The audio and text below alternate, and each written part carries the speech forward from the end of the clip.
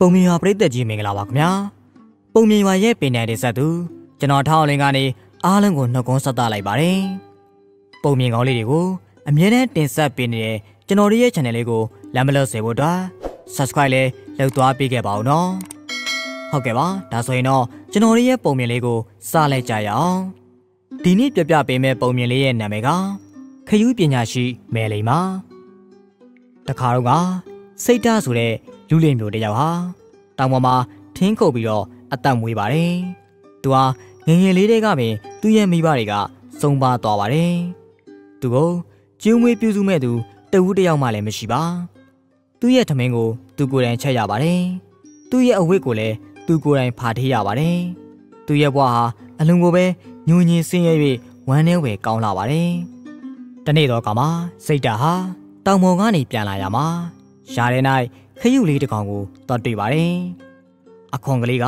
ပြောင်ပြောင်လက်လက်နဲ့ချစ်စရာကောင်းလာပါတယ်။ထို့ကြောင့်စိတ်ဓာတ်ဟာ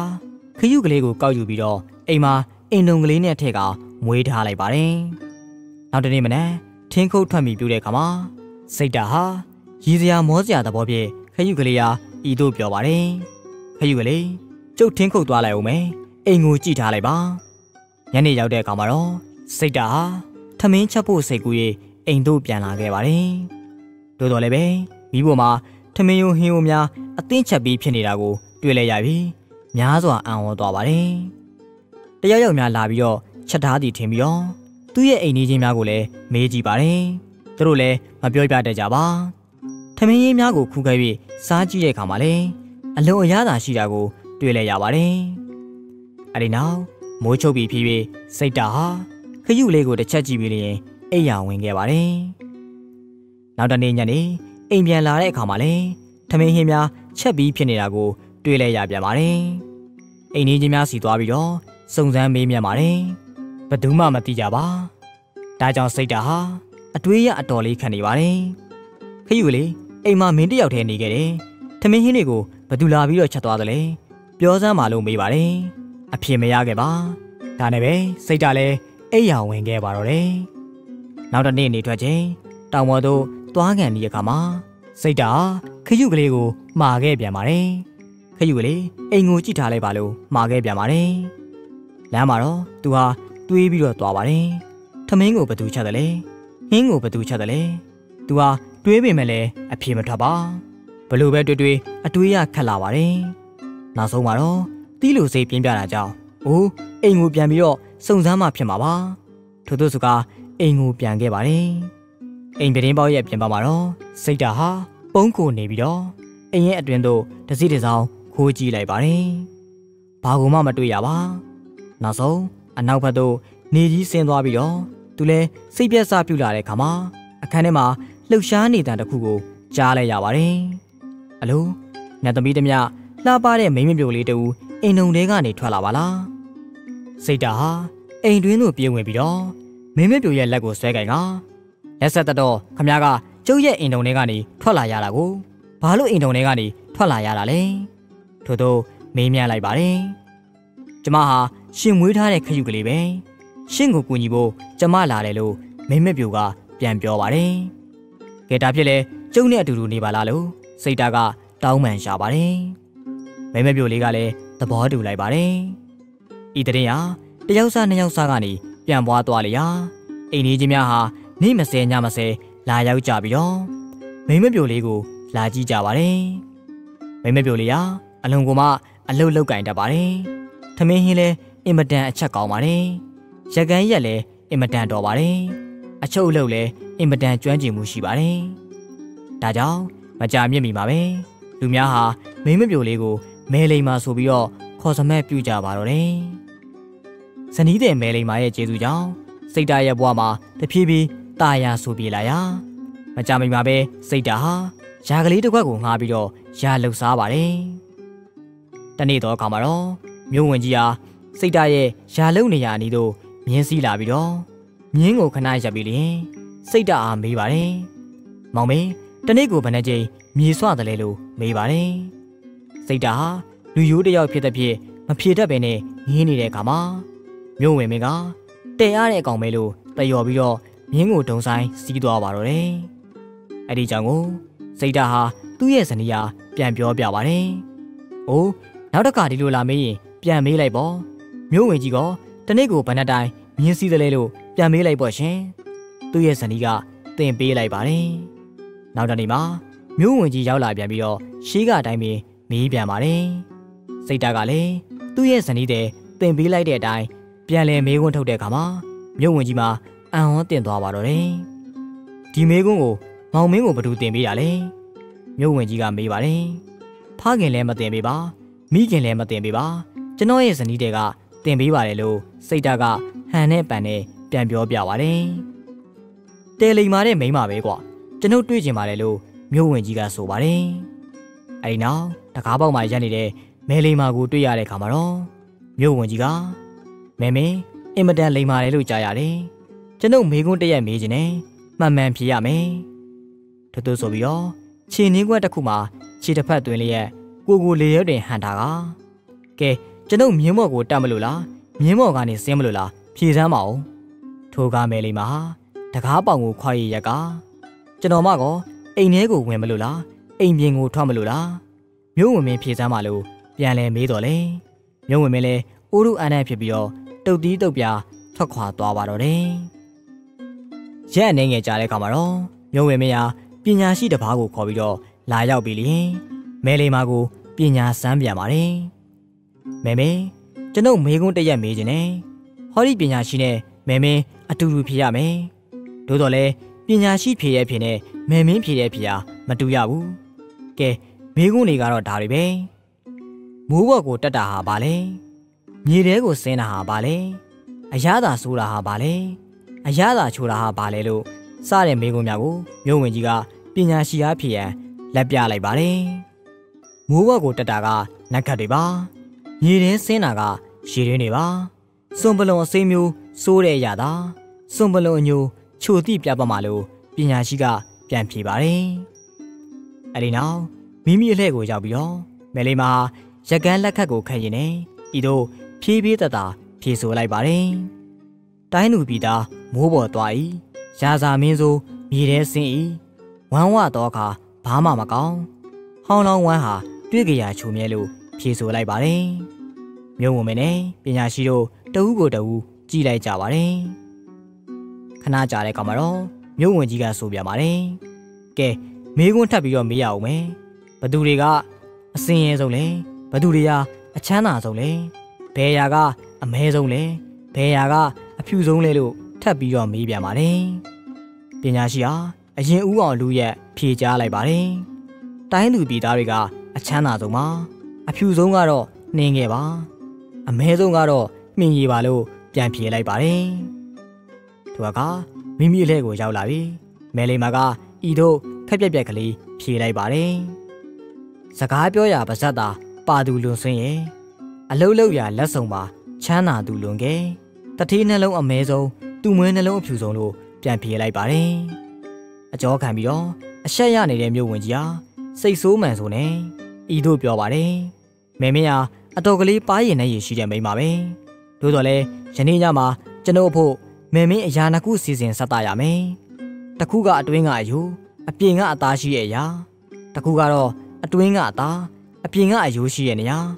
မနဲ့ပြန်မနဲ့အချိန်ခါမှာအဲ့ဒီယာနှစ်ခုကိုစီစဉ်မပေးနိုင်ရင်တော့မယ်မင်းရဲ့ယောက်ျားကိုခေါင်းဖြတ်ပစ်မယ်လို့ပြောပြောဆိုဆိုနဲ့ပဲမြို့ဝင်ကြီးဟာ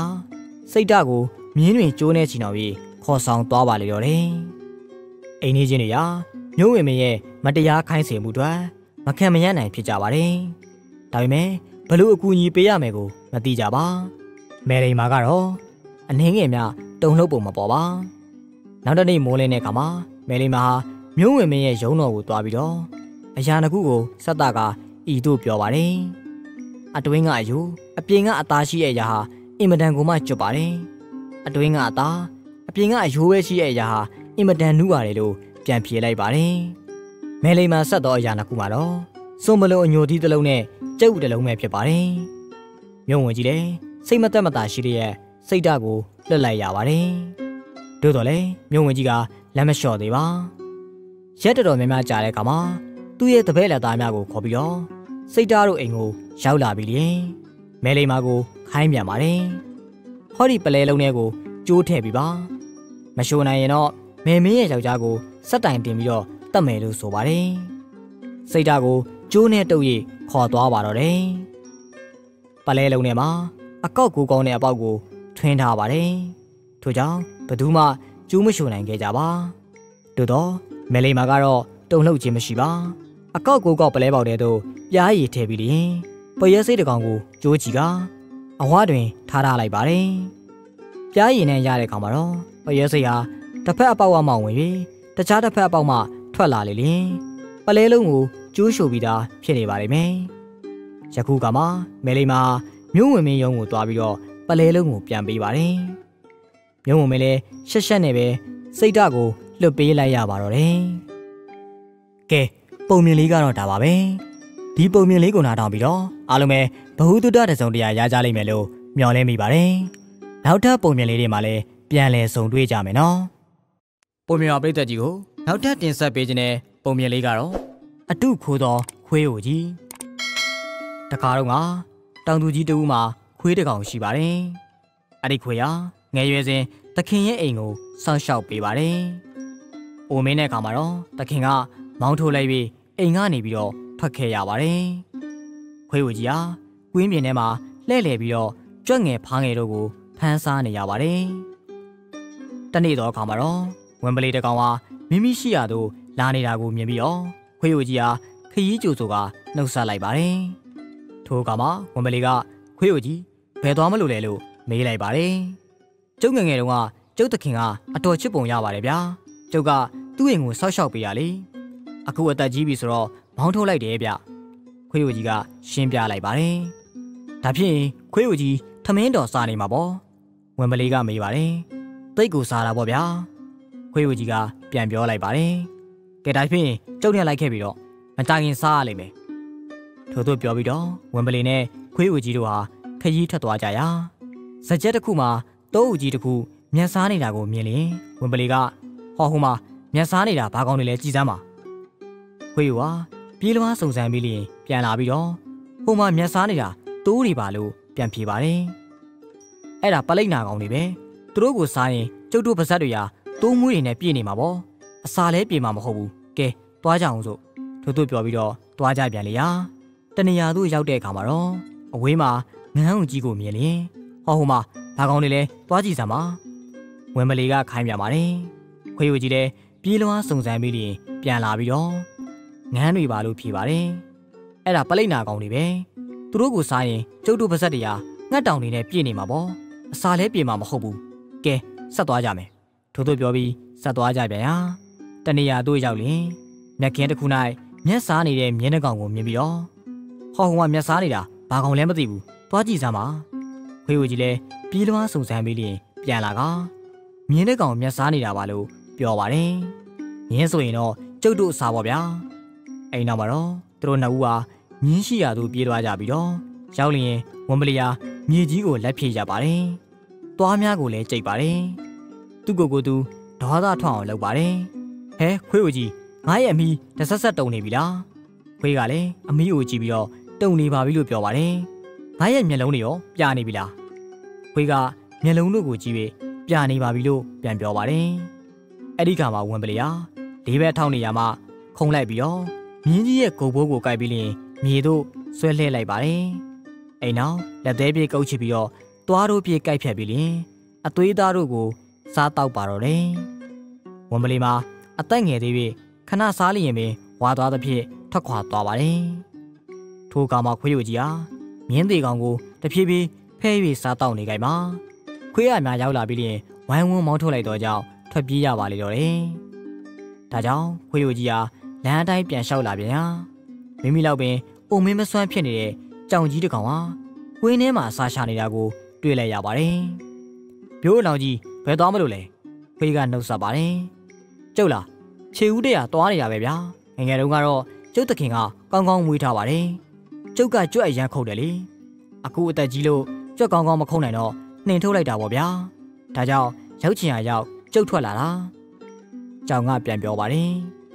ကဲဒါဖြစ်လေကျုပ်နဲ့လိုက်ခဲ့လေးနောင်ကြီးကျုပ်ရှာကြီးမှာပေါ့မပူပါနဲ့ဗျာခွေးကပြောပါတယ်ခွေးရဲ့စိတ်ထဲမှာတော့ဝင်မလီလုတ်ပုံမျိုးကိုလုပ်ရန်စိတ်ကူးရင်လျက်ရှိပါတယ်။အဲဒီနောက်ကြောင်ဝုံနဲ့ခွေးဝူတို့ဟာစကားတပြောပြောနဲ့လမ်းတိုင်းဆက်လျှောက်သွားကြရာလမ်းဘေးစကြက်တစ်ခုထဲမှာတိုးတအုပ်မျက်စားနေတာကိုမြင်ရင်ကြောင်ဝူဘက်ကိုလှည့်ပြီးတော့နောင်ကြီး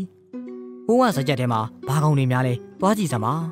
ခွေးကခိုင်ပါတယ်။ကြောင်ကြီးတယ်သွားရောက်စုံစမ်းပြီးပြန်လာပြီးလျင်တိုးတွေပါမျက်စားနေတာပါလို့ပြန်ပြောပါတယ်။အဲ့ဒါပလိတ်နာကောင်တွေပဲဗျ။သူတို့ကိုစားရင်ကျုပ်တို့ပါစားဟာတိုးမွေးတွေနဲ့ပြည့်နေမှာပေါ့။အစာလည်းပြေမှာမဟုတ်ဘူး။ကဲသွားကြအောင်စို့။ထို့သို့ပြောပြီးတော့သွားကြပြန်ရာတဏီယာတို့ရောက်တဲ့အခါမှာတော့ငန်းဦးကြီးကိုမြင်ပြီးတော့နောင်ကြီးဟိုးမှာဘာကောင်းနေလဲသွားကြည့်စမ်းပါ။ ကြောင်ကြီးလည်းသွားရောက်စုံစမ်းပြီးပြန်လာပြီးလျင်ငန်းတွေပါလို့ပြန်ပြေပါတယ်။အဲ့ဒါပလိတ်နာကောင်တွေဗျ။သူတို့ကိုစားရင်ကျုပ်တို့ပါဇက်တွေဟာငှက်တောင်တွေနဲ့ပြည့်နေမှာပေါ့အစာလည်းပြေမှာမဟုတ်ဘူးကဲဆက်သွားကြမယ်ထို့သို့ပြောပြီးတော့ခွေးနဲ့ကြောင်ကိုတို့ဟာတကွင်းကျော်တကွင်းရောက်နဲ့ဆက်သွားကြရာတဏှာတို့ရောက်ရင်မျက်စားနေတဲ့မြင်းတဲ့ကောင်ကိုခွေးယိုကြီးကတွေ့သွားပါတယ်။နောင်ကြီးဟိုးရှိရကောင်ကဘာကောင်ပါလိမ့်သွားကြည့်စမ်းပါဗျာ။ကြောင်လဲ ပြေးလွှားကြည့်ရှုပြီးလျင်ပြန်လာပြီးတော့မြင်းကြီးတကောင်ပါလို့ပြောပါတယ်။မြင်းဆိုရင်တော့ကျုပ်တို့အစာပဲဗျ။စားဖို့သာပြင်ပြီးတော့ထို့သို့ပြောပြီးတော့ဝေယိုကြီးဟာရှေ့လက်နက်ဘက်ပြည့်မြေကြီးကိုရပ်ပါလေတော့တယ်။သွားတို့ကိုလည်းအားရပါရကြိတ်ထားပါတယ်။သူ့ကိုယ်သူဒေါသမထွက်ထွက်အောင်အမျိုးမျိုးလုပ်ပါတယ်။နောင်ကြီးကျုပ်ရဲ့မိကတဆက်ဆက်တုံနေပြီလား။ဝေးကမေးပါတယ်။မတုံပါဘူးလို့ကြောင်ကပြန်ပြောပါတယ်။ဝေးလည်း မြေကြီးတို့ကိုထပ်မှန်ပြီးရိုက်၍သွားတို့ကိုလည်းကြိတ်ပြန်ပါတယ်။သူ့ကိုယ်ကိုယ်သူစိတ်ဆိုးအောင်ထပ်လုပ်ပါတယ်။ကဲနောင်ကြီးကျုပ်ရဲ့မိကဆက်ဆက်တုံနေပြီလား။တုံနေပြီလို့ပြောစမှာဗျာစိတ်တိုင်းမကြတော့အတန်ဖြင့်ခွေးကမေးပါတယ်အင်းဟုတ်ကဲ့နည်းနည်းတော့တုံနေပါပြီကြောင်ကပြန်ပြောပါတယ်ကဲစောင့်နာကြည့်လိုက်ပါနောင်ကြီးဒီမင်းကိုကျုပ်တို့အပိုင်စီးရတော့မှာထို့သို့ပြောဆိုပြီးတော့ခွေးလည်းမြေကြီးကိုရက်ပြန်ကသွားကိုကြိတ်ပြန်ပါတယ်အဲဒီနောက် ကြောင်ဘက်သို့လှည့်ပြီးတော့ကြောင်ကြီးကျုပ်ရဲ့မျက်စိတွေပြလာပြီလားလို့မေးပါတယ်မပြသေးပါဘူးလို့ကြောင်ကပြန်ပြောပါတယ်ဟိုးအိမ်မပြောပါနဲ့ပြာနေပြီလို့ပြောစမ်းပါခွေးကငေါက်လိုက်ပါတယ်ပြာတယ်ပြောစီခြင်းပြာတယ်လို့ပြောရတာပေါ့ဗျာငေါက်တော့မငေါက်ပါနဲ့မိတ်ဆွေရဲ့မျက်စိတွေဟာပြာနေပါပြီကြောင်ကပြောလိုက်ပါတယ်အဲဒီခါမှာခွေးကိုကြည့်တယ်ဒေါသပြင်းစွာထွက်ပုံကိုပြပြီးတော့ခြေလေးချောင်းကိုနာနာထောက်ပြီးလျင် မြင်းကြီးကိုခုံအုပ်လိုက်ပါတော့တယ်မြင်းကြီးလည်းနောက်ခွာနှစ်ဖက်နဲ့တားကျုံရိတ်ကန်လိုက်ရာခွေးကိုကြီးဟာမျက်စိပြူကမြေပြင်ပေါ်တွင် ထိုင်လျက်ကျသွားပါတော့တယ်။ထိုကကြမှာကြောင်ဝကြီးကအနီးသို့ပြေးလာပြီးတော့ညီငယ်ခွေးလေးမင်းရဲ့မျက်စိတွေအခုမှတကယ်ပြနေရလို့ပြောပြီးလင်မိမိရဲ့လိုရာခကြီးသို့ထွက်ခွာသွားပါတော့တယ်။ကဲပုံမြင်လေးကတော့ဒါပါပဲ။ဒီပုံမြင်လေးကိုနားထောင်ပြီးတော့အားလုံးပဲ ဘ ഹു တုတတစုံတရာရကြလိမ့်မယ်လို့မျှော်လင့်မိပါတယ်။နောက်ထပ်ပုံမြင်လေးတွေမှာလည်းပြန်လည်ဆုံတွေ့ကြမယ်နော်။ပုံမြင်ပါပြည်သက်ကြီးကိုနောက်ထပ်တင်ဆက်ပေးခြင်းနဲ့ပုံမြင်လေးကတော့ပြားရည်တစ်ဆက်ရှီတယောကာကဗာရဏသီပြည်မှာဗျမဒတ်မင်းမင်းပြုတ်နေပါတယ်။ဒုံမင်းမှာမင်းတိုင်မင်းအမတ်ပရောဟိတ်ပုံနာတစ်ပါးလည်းရှိပါတယ်။တနေ့မှာတော့မင်းနဲ့ပုံနာတို့ဟာ